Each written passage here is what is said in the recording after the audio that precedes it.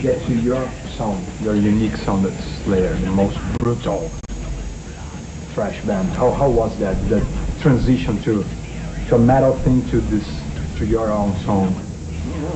It just kind of happened. I mean, we didn't just, you know, sit down one day and say, hey, we're going to be fast now. You know, we just, I, I guess it all came together when we were going to do that Metal Massacre, first Metal Massacre album.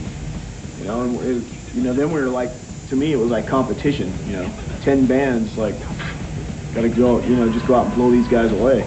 So he wrote a song particularly for that, which was Aggressive Perfector. And then from then on, we just stayed with that style. Was it important for you, this participation in Metal Massacre? Was our record deal. Yeah. Open the doors, everything? I don't know if it opened a door, but it was it was to get a, a, a song on, on vinyl, you know, because we you know that was the one thing we least wanted was to get a song on a record.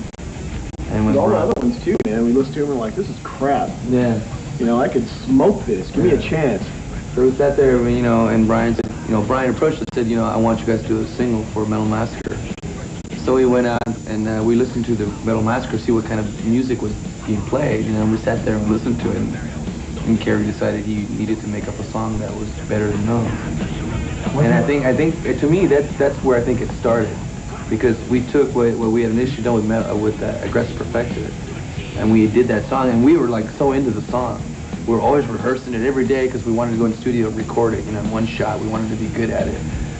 And we just, the more and more we played it, the more and more I think we just got really into the vibe of that song. And once we did the song, Brian said, I want you to record a record for us. You know, and We did. Okay. okay. we sat there, yeah, we sat there and like, well, you know, we, you know, we figured, well, we got to re- revamp some of our music. So a lot of the songs got dumped, and we took a lot of songs and changed them around. You know, but I mean, I think that's what that's where we initially started was there, and we, you know, we've always had that. That was ours, and we just took it from there on. So you know, that's where we developed it for that Metal Massacre album. How long had Paul being an official member of the band? That's Paul. You want to talk, Paul? I, I'm asking you. I've been with the band for two years. How was it to become a- an official member? Because first you were invited to to join the band, but Well, I'd say probably officially on the plane ride over to Europe. That's when Jeff asked me if I wanted to be in the band.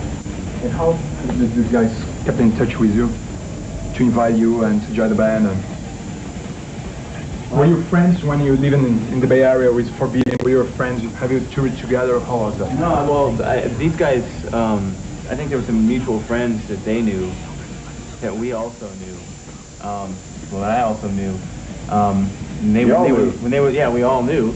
Uh, when they were looking for a drummer, I guess uh, some of the people in Testament knew who I was and mentioned it to them. I don't, I don't know exactly how it all worked, and I think their uh, manager's uh, assistant knew who I was. And I guess that's how my name came up.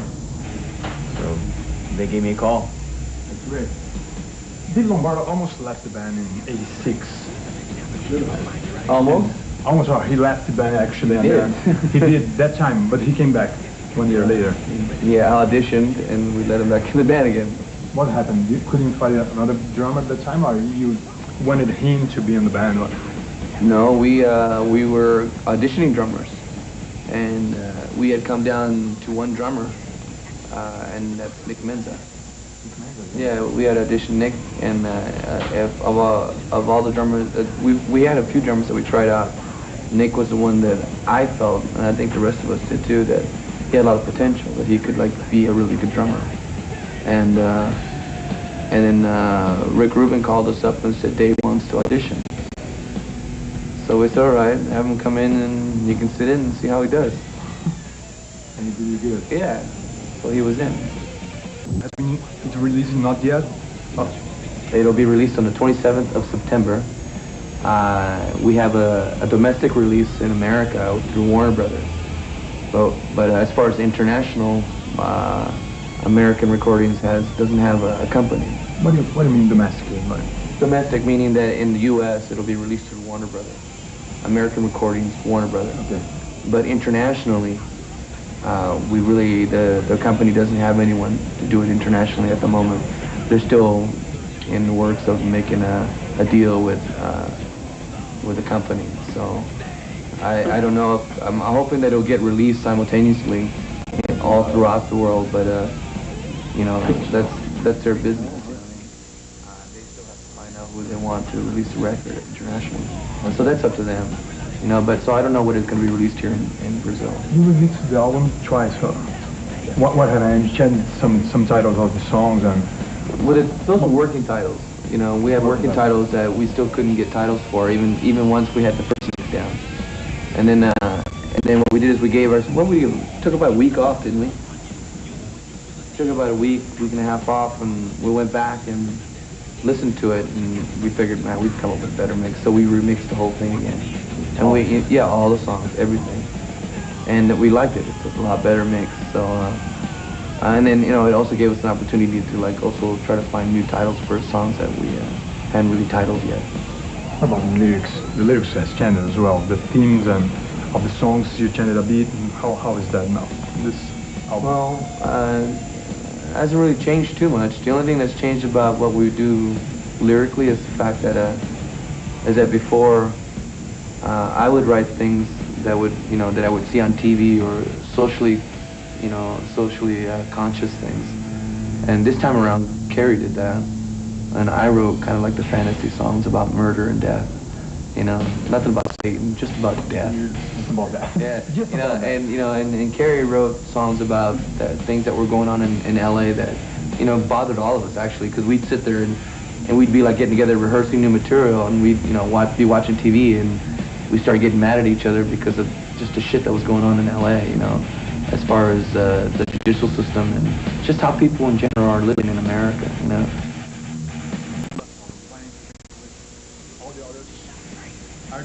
Time because I read you in an interview that you haven't changed your style. And a lot of bands that used to be used to do this thrash music, why did you kept this loyalty to to, to thrash? Why do we stay there? Yeah, why did you stay there? Because we're not it? because we're not phony. you know, this we we like this kind of music, and we're not doing it for the money. You know, I if I wasn't doing this, I'd want to see a band playing this shit. And a lot of the bands that I used to to I think I thought were credible and had respect for, I don't have respect for them anymore. I think they're crap because they just well, they either found out that if you soften up, you get the you know cashola coming in or whatever, but you know, we do it because we music, and you know, I, I consistently try to better what I did on the last record. Like Kerry, once played with Megadeth, helping on tour. Dave Lombardo almost joined Megadeth as well, Nick Menza now. What's your relation with the band? With Megadeth? Yes, play on Megadeth. Are you friends? Were you friends before? Or? I don't think we were ever really friends. Uh, I think Mustaine was trying to put together a band, and he was trying to pick, you know, he was trying to pick people that he wanted, and he kept he kept coming across us, you know, and uh, we just kept telling him no. that's No, that's no, about that's about the extent of our relationship with Dave. What about Mr. Mustaine. That that tour, how was that? How It did was, you it was it was a really good tour for us. It was, uh, the Clash of Titans was an excellent tour for us. It made him very miserable, but it was a very good tour for us. How, how was it? You one band opened and then the other night was a different band that opened up. Yeah, we, yeah, it was kind of like a rotating thing.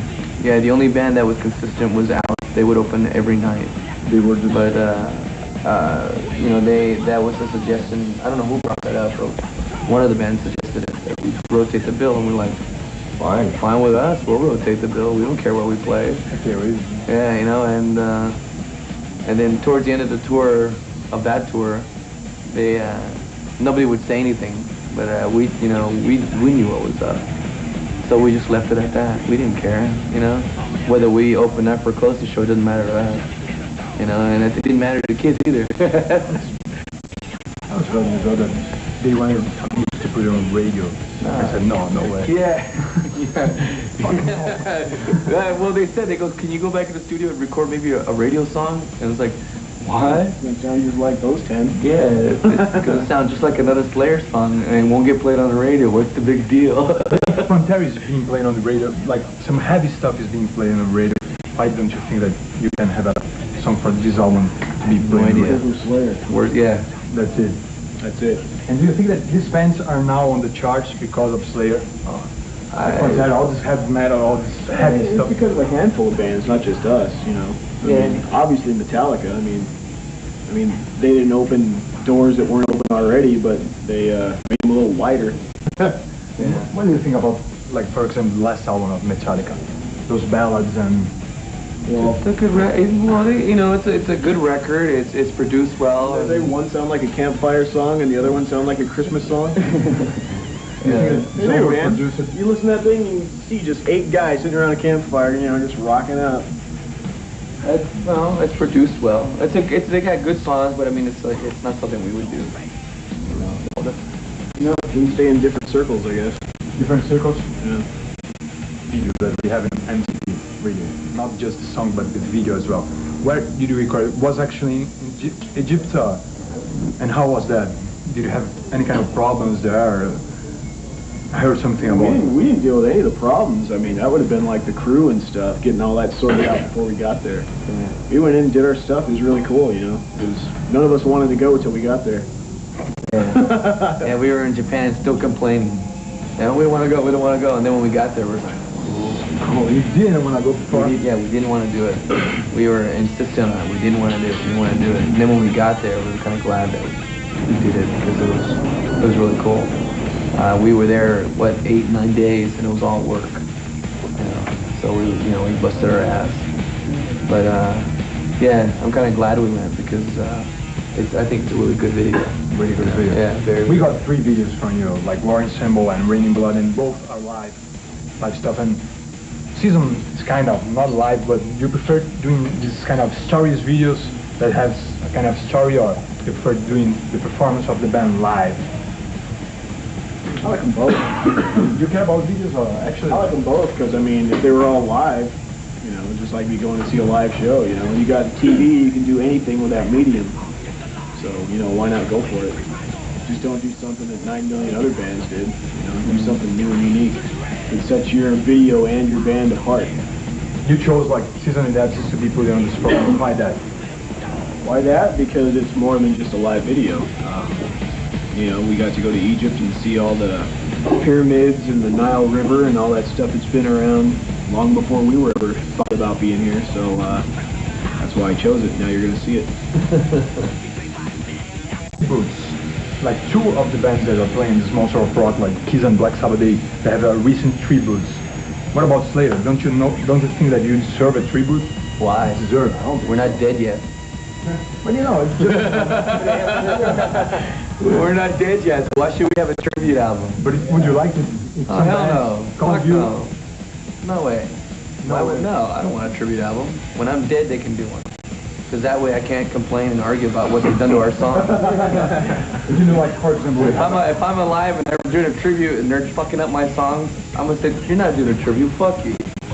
No, don't fuck up my song. if you I should say our song. if you had to choose the band, you like to choose some bands that that you think, oh, No. this band could do uh, a Slayer No band can do Slayer tune. No band. No. That's cool. The only band that could do Slayer tune is Slayer. Do you know that? Right?